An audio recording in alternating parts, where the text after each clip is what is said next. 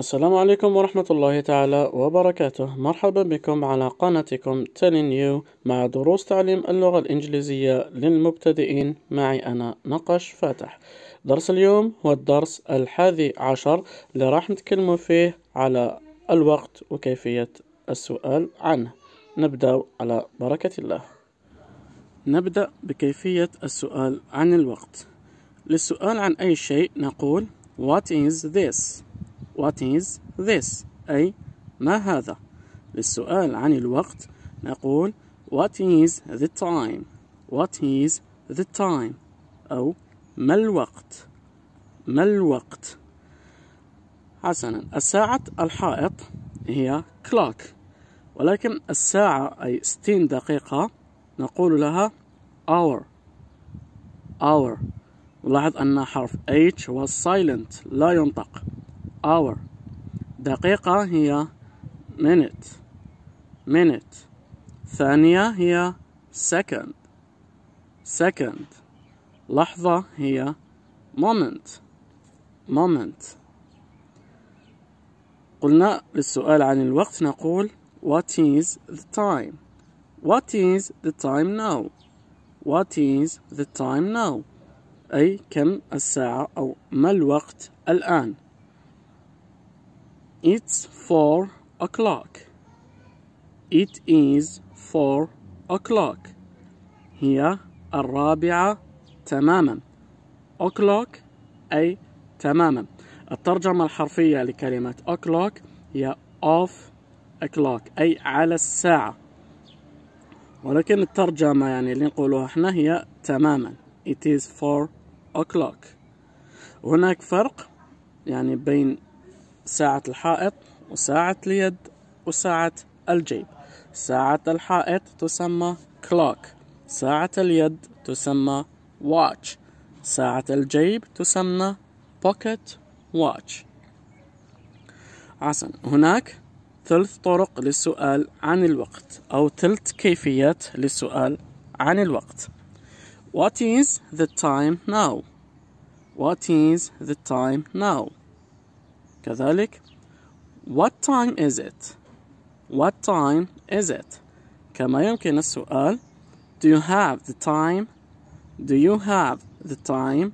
يعني هذه ثلاث طرق للسؤال عن الوقت What is the time now? What is the time now? It is five o'clock. It is five o'clock. What time is it? What time is it? It's eight o'clock. It's eight o'clock.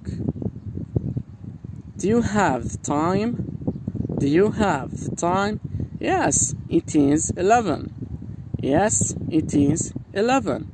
نلاحظ أن بدأنا بكلمة yes يعني هذه طريقة للجواب على السؤال do وراح نطرق اليوم في دروس مقبلة إن شاء الله عدة طرق لمعرفة الوقت. هناك طرق سهلة وهناك طرق سهلة جدا. نبدأ بالسهلة جدا كيكون الرقم يعني نذكره كما راه مكتوب. مثلا الرابعة وثلاثون دقيقة. نفس الشيء فنقول it is 4.30 it is 4.30 السادسة وخمس عشر دقيقة. It is 6.15 It is 6.15 الحادي عشر وثلاثة وخمسون دقيقة.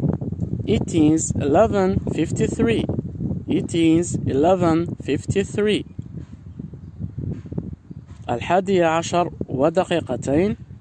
نقول It is 11.02 It is 11.02 لأن الرقم صفر يلفظ أو يعني في الساعات وفي رقم الهاتف وفي أمور أخرى نذكرها إن شاء الله في دروس مقبلة. يعني مثلا نقولوا التاسعة والربع. It is a quarter past nine.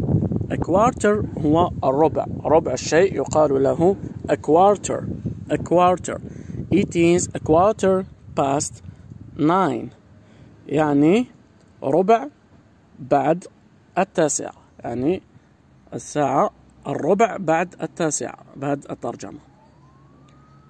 السابعة وخمس عشر أو السابعة والربع. It is a quarter past seven. It is a quarter past seven. الخامسة والربع. It is a quarter past five.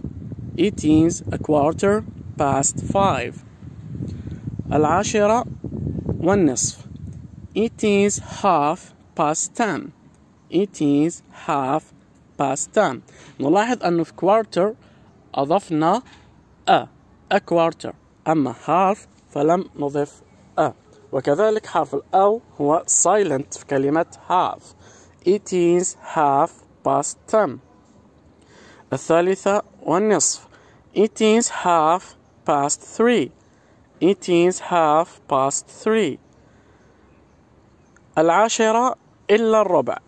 العاشرة إلا الربع. It is a quarter to ten.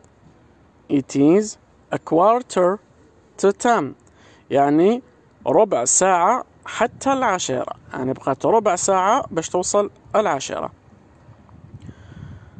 الثامنة إلا الربع. It is a quarter to eight. It is a quarter to eight.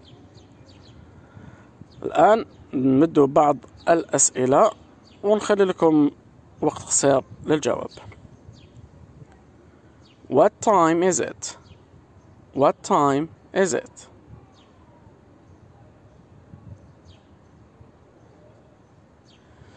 It is 6.25 أو It is 25 past 6 الإجابتان صحيحتان Do you have a time? Do you have a time?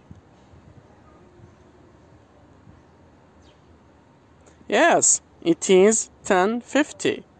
Yes, it is 10:50.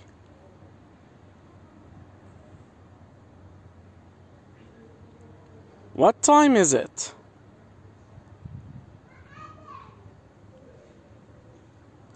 It is 6:40. It is 40 past 6.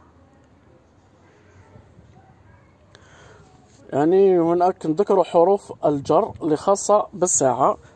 نستعملوا at. At. ذكروا أمثلة. I wake up at 7 in the morning. I wake up at 7 in the morning. I wake up يعني استيقظت على السابعة at 7 in the morning. يعني في الصباح. يعني لاحظوا أن في أيام اليوم نستعمل حرف أو في لحظات اليوم أو أوقات اليوم نستعمل حرف الجر in She plays in the park at 5 in the afternoon. She plays in the park at 5 in the afternoon. يعني هي تلعب في الحديقة على الخامسة بعد الظهر. In the afternoon. Afternoon بعد الظهر.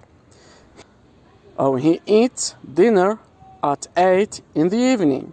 He eats dinner at 8 in the evening. هو يتناول العشاء على الثامنة مساء. Evening هي المساء. كما أننا نستعمل حرف الجر on الخاص بالأيام. مذكرنا Saturday, Sunday, Monday نقول حرف الجر on.